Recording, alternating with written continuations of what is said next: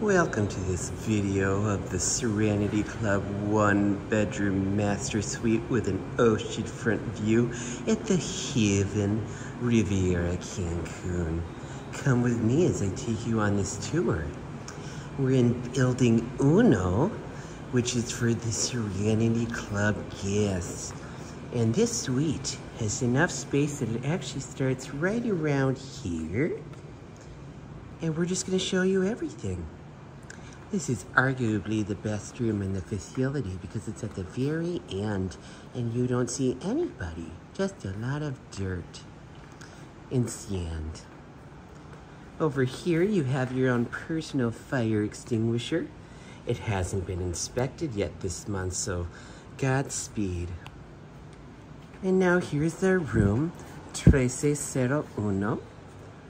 Little lights here to let them know if you want to keep your room dirty or if you're more of a clean kind of person. And when you get to the property, they'll put on a little uh, uh, wristband here to show that you are their property while you're staying at their property. And that piece of property, we'll just open up the door here.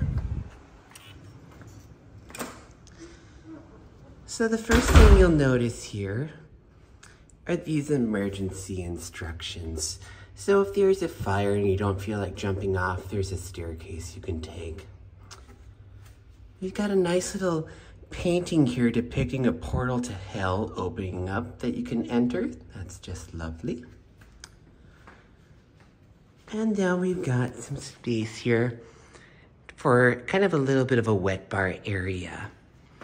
You'll notice that there's a little escape hatch here, so if you don't feel like uh, exiting through your door and you can fit through here, you can exit this way instead. So you just got lots of nice options. For some reason, they put our dirty dishes there. I can't imagine why.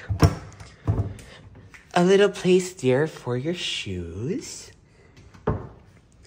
This is all complimentary because it's all inclusive. You get some yachts, something called M&M's, and some other interesting snacks. You'll get four bottles of whatever, whatever alcohol you'd like to have as soon as you get here. Some glassware. And if you don't like it there, you can just put it right here. That's very nice. We've got a little fridge here that they restock daily, and your butler can help you have it stocked with whatever you like. A little space here that looked like they had plans but never fulfilled them. You got a sink. And if you want to be a chaos agent, you can just turn off the water to that sink for the next guest before you leave. That's really nice. Here we've got some viney things and some psychedelic swirls. Little trash bin. Some vases I assume you can just take home with you because they're not nailed down or anything.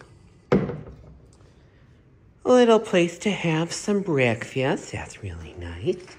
Room service is, of course, included. They give you a little postcard, a ladder,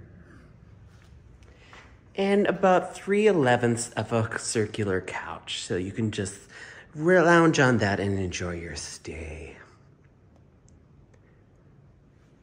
Over here we have what I have to assume is a deconstructed dream catcher. Didn't help me with my nightmares last night, but that's okay.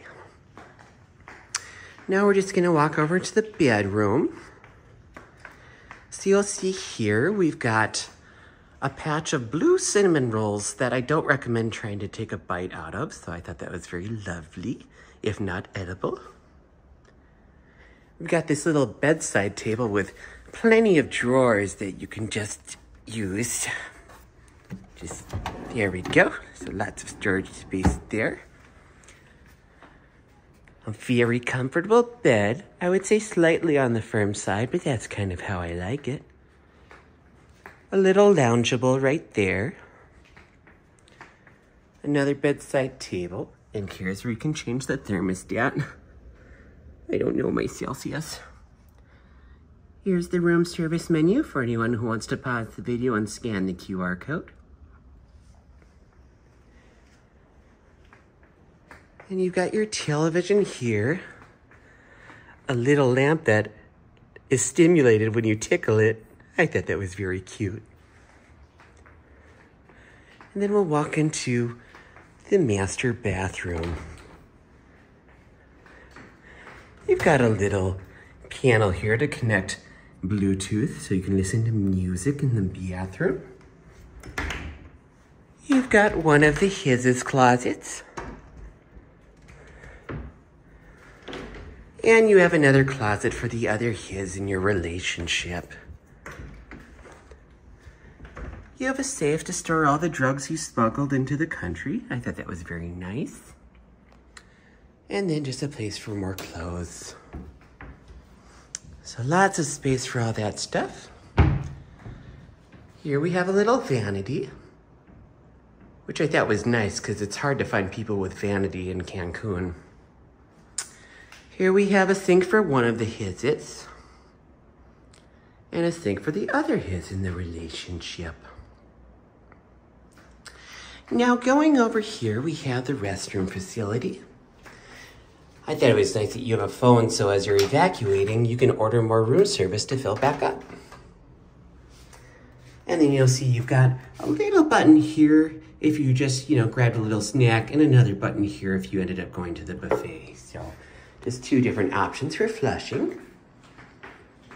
Got a nice bath here with some jets as long as you fill up enough water. I thought that was lovely. And then you've got a shower here. Lots of room.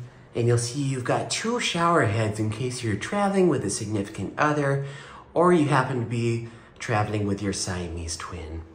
I like that. So now we're just gonna step outside here. Now, as I may have mentioned, all these Serenity Club style rooms come with their own butler. So that butler is always available 24 7. They just lounge right there. And look at that beautiful ocean front. A couple things I love is that you can spy on your neighbors. That's always fun. And if you're feeling creepy, you can watch people getting massages over here. So lots of voyeuristic opportunities all around. Oh, look at that lovely ocean. So oh, you can again have a meal out here. You can fill this bath up and it comes with some bath salts and some bubble bath stuff. We plan to use that later. And just look at this view. This is why it's arguably the best room. I would say even better than the presidential suite that doesn't have a corner like this. You could watch the sunset in this direction and the sunrise in what I'm told is the opposite direction.